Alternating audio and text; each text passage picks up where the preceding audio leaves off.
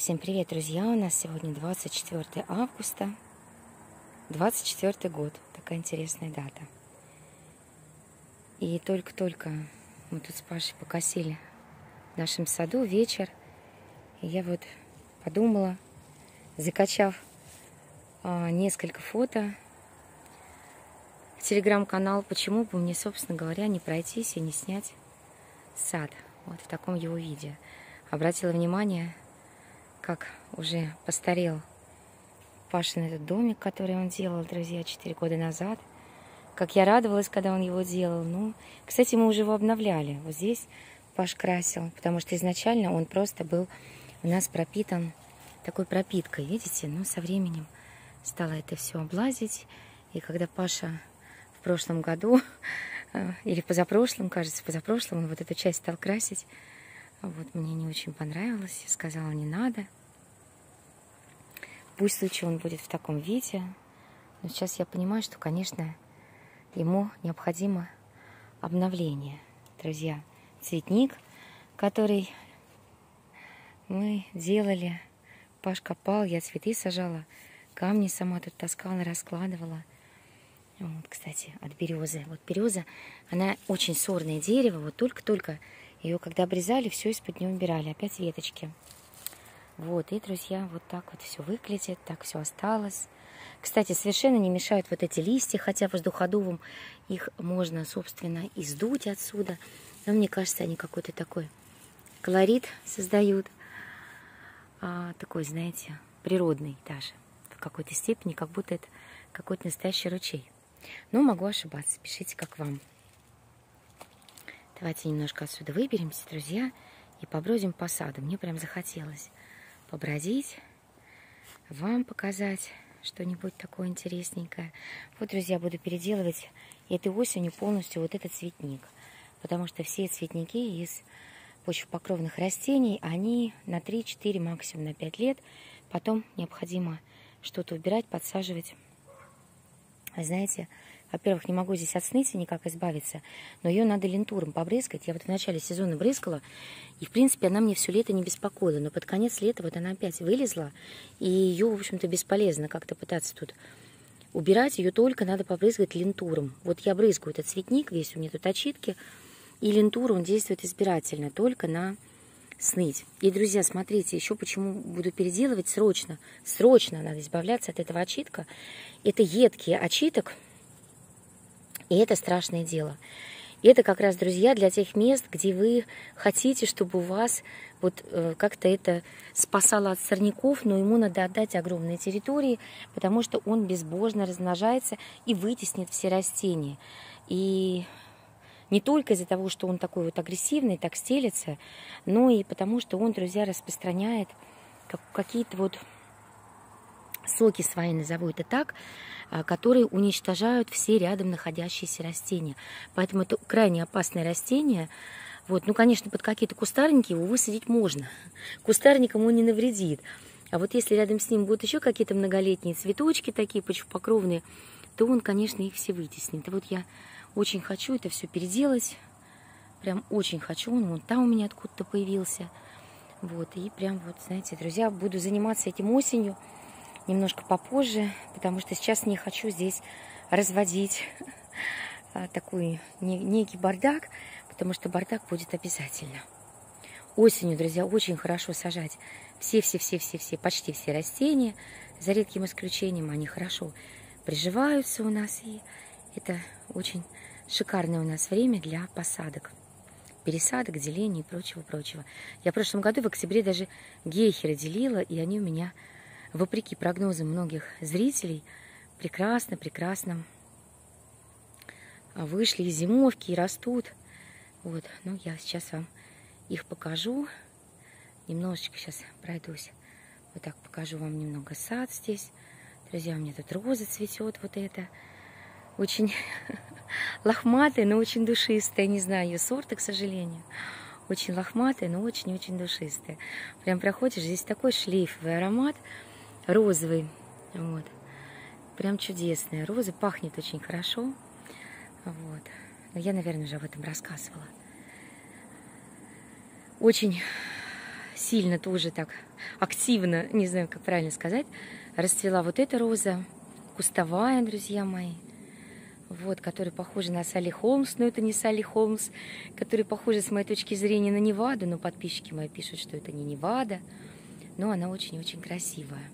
Друзья, я вам обещала показать, как здесь убрать вот этот вот шиповник. Видите, так у меня и даже до него руки не дошли. Ну, может быть, завтра дойдут. Я вам покажу, подлезу туда, покажу, как его правильно удалить. Хочу вам, знаете, показать поближе цветки, потому что очень многие пытаются всегда угадать эту розу. И здесь надо вот прям заглядывать внутрь цветков, потому что основание у них такое, знаете, ну, как бы вот такое желтоватое. Вот, и бутоны у нее желтые, вот. Не знаю, может быть, кто-то узнает, друзья, может, у кого-то такая роза есть. Но цветки, друзья, держат недолго, недолго. Вот. Но за счет обильности цветения она, конечно, королева в саду. И, знаете, очень неприхотливая и всегда хорошо зимует. Никогда ни разу не вымерзала. Ну, просто наикрутейшая роза. Один раз она мне даже сопрела под укрытием, но не укрытие упала, друзья. И когда мы разобрали укрытие, она была вся-вся-вся в плесени. Это было в марте. Я ее обработала всю а, бордоской смесью. И вы знаете, она полностью у меня потом хорошо э, весь сезон и цвела, и росла, и даже побеги не пришлось ей удалять. Друзья мои, это, это английская роза. Бывает, забуду название, все как вылетит из головы. И все. Ну, я ее называла в прошлый раз, поэтому я думаю, не столь важно. Так, друзья, здесь у меня вот такой можжевельник. Они так быстро, друзья, обрастают, вот когда их выстригаешь, некое подобие там неваки, да, вот пытаешься удалять паутина, паутина. Сейчас кругом, друзья, паутина, вот это кругом. Кстати, она может свидетельствовать и о паутином клеще, но это уже в запущенных стадиях, поэтому надо проходиться. Кстати, по хвойным тоже обязательно. Паутина клещ очень любит. И вот они, знаете, когда их выстригаешь, они достаточно быстро у нас зарастают. Только успеваешь стричь, форму придавать. Здесь Паш поставил такой лежак. Прям, знаете, как-то очень красиво, мне кажется, смотрится.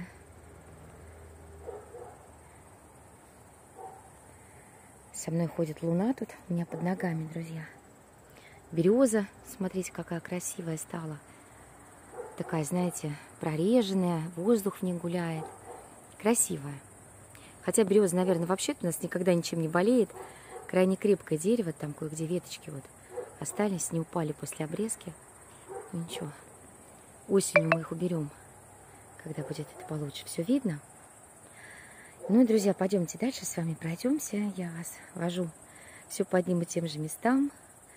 Пойдемте, может быть, сходим с вами за дом, но там вот опять я слышу, сос соседский пес лает. Мне бы, конечно, не хотелось, чтобы он нам мешал, этот соседский пес. Там даже их целых три.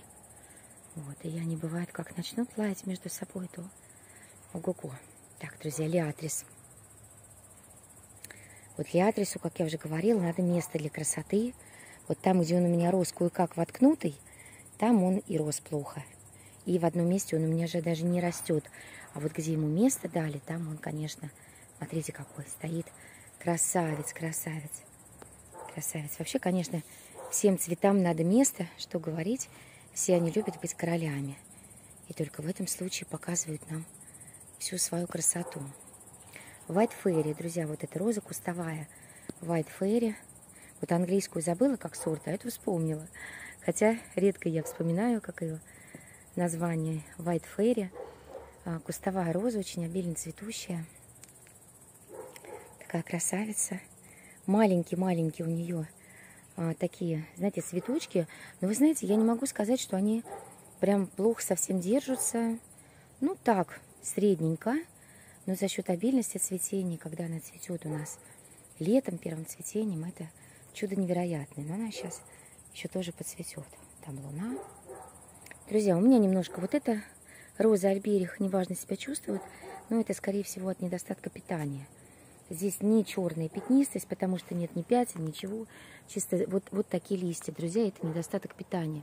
Но вы знаете, там еще и побеги старые.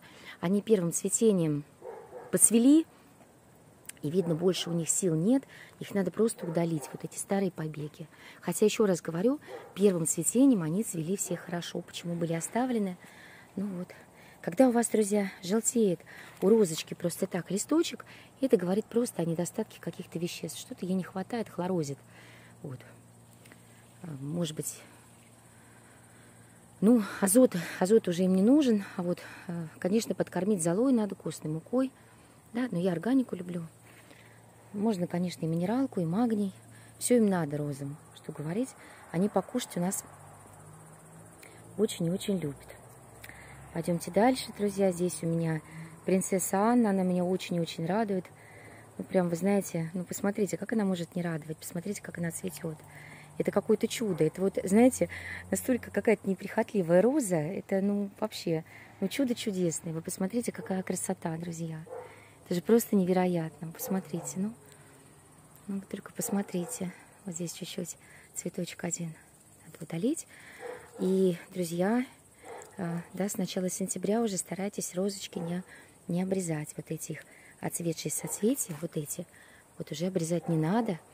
Потому что эти семена, они дают розе понять, что когда они вызревают, розы понимают, что близится зима, и надо к ней готовиться. Посмотрите, друзья.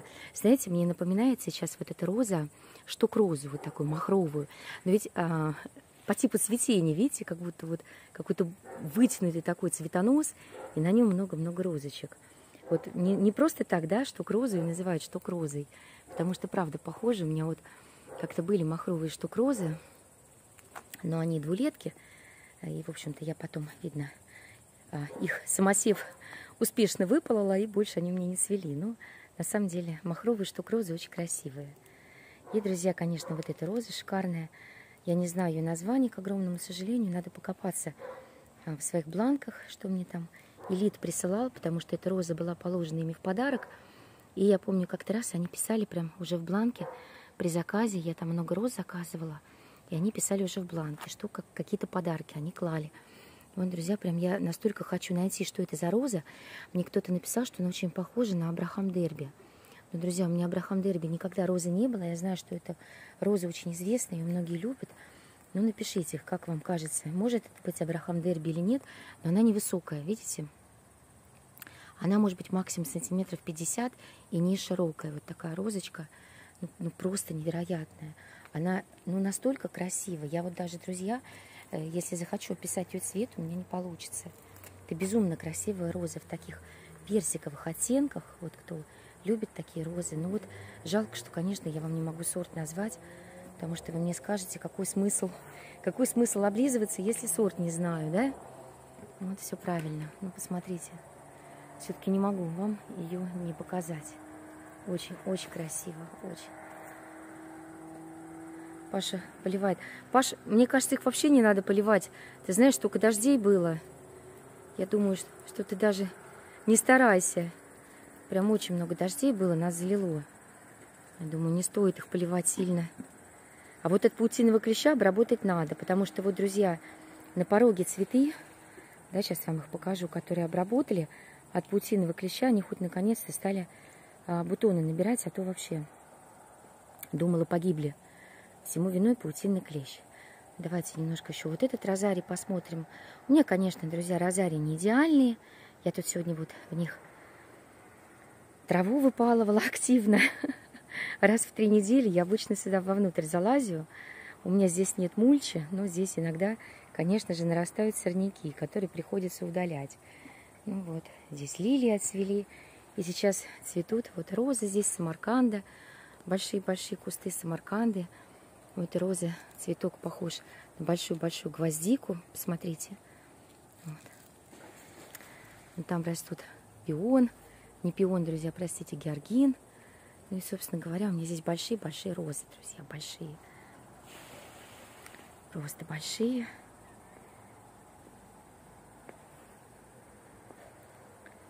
Почвопокровники. Еще колокольчик карпатский цветет.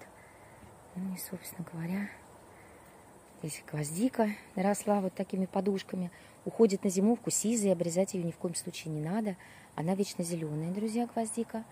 Так уйдет на зимовочку. Ну, пойдемте посмотрим, как у нас там петуния нарастает.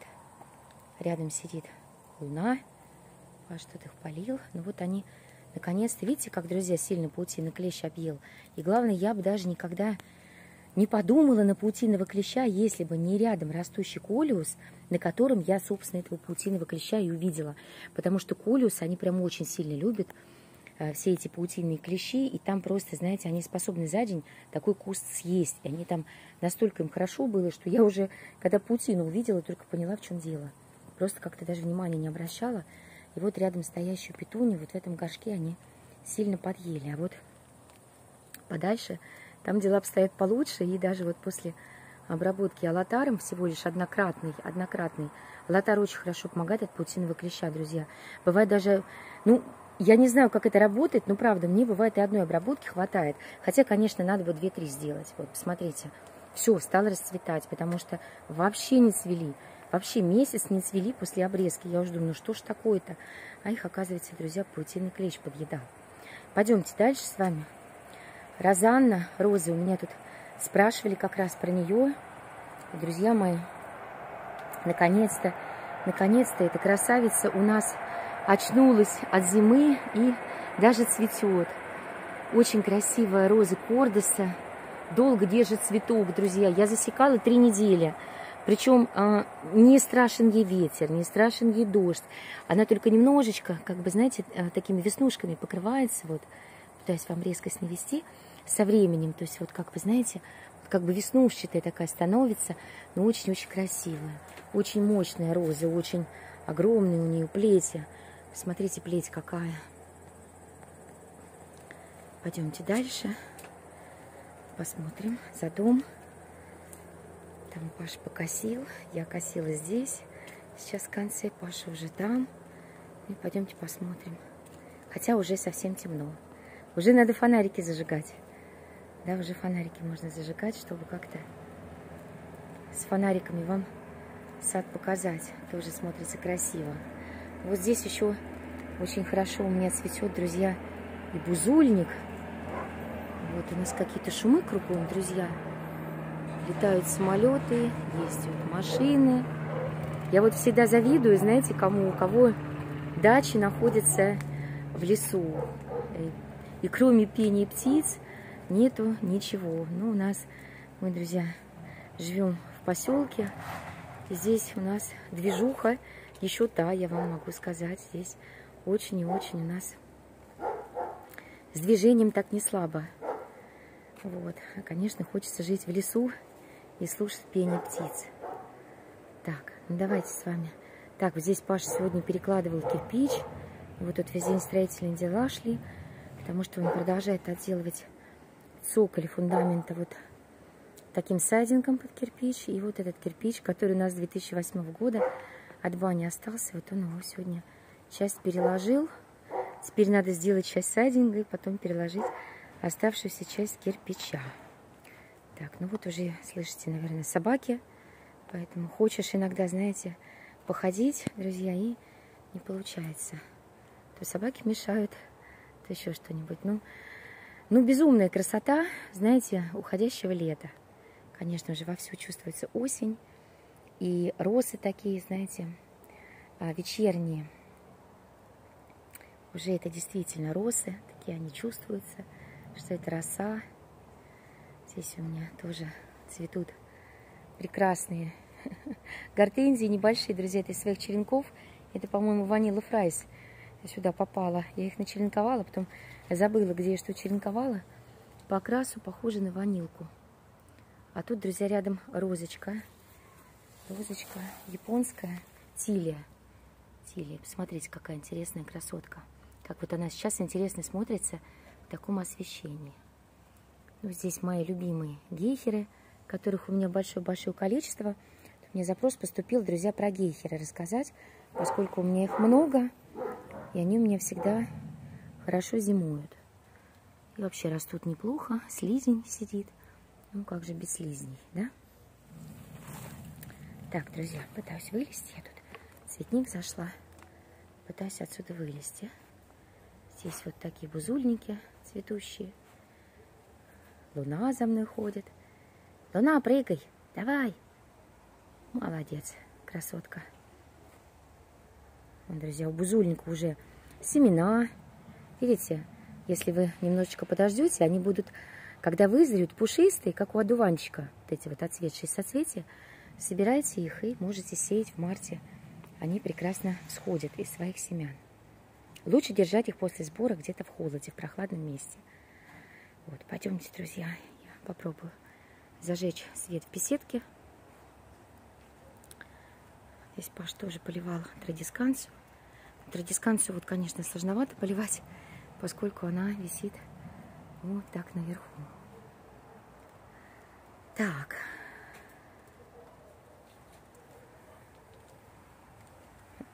Мои тапки, друзья. Так, что здесь? Надо уносить ноутбук, за которым я сегодня работала. Так, и я, друзья, зажгла вам фонарики, чтобы показать такое вечернее освещение. Как оно смотрится из беседки. В беседке, кстати, тоже можно свет включить. Я, наверное, это сейчас сделаю, потому что будет красиво вам показать. Угу. И пойдемте с вами еще походим. Ну, вот так традисканции смотрятся. Кажется, очень красиво. Насте, конечно, огромная благодарность за традисканции. Я бы даже никогда не подумала и не вспомнила о них вообще. Здесь, друзья, у меня зеленая с этой стороны. Ну, плохо видно. Здесь вот такая зеленая. Пойдемте. Пойдемте выходить. Вот так смотрится наш сад. Вечерний. Хотела вам утренний, друзья, снять завтра с утра. Но сняла вечерний сегодня. Ну, может быть, и утренний тоже сниму. Вот. Здесь тоже цветут розы. Вот им сейчас такую подсветочку мы дали. Конечно, они освещаются. Вот, конечно, смотрятся красиво. Так, друзья.